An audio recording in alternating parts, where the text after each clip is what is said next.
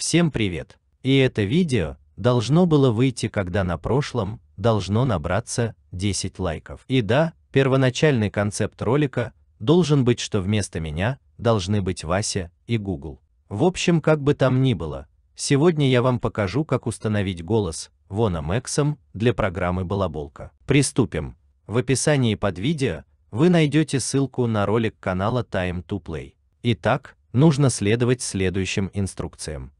Во-первых, скачайте драйвера Microsoft Visual Studio C+, от старой версии 2005 года до последней версии 2022 года. Без этого ничего работать не будет.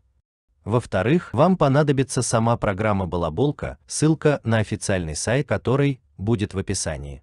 В-третьих, перейдя по ссылке в описании видео Time to Play, вас перекинет на Google Диск, где вам нужно установить крэк-файл с установщиком голоса Макса. Перед установкой нажмите правой кнопкой мыши и нажать на устранение проблем с совместимостью. Дальше установить голос на любой диск и перекинуть три файла из установщика в папку, где у вас установлен голос Максима.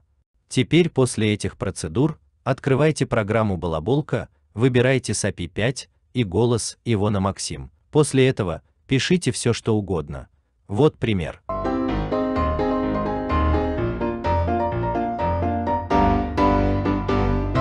Меня зовут Максим.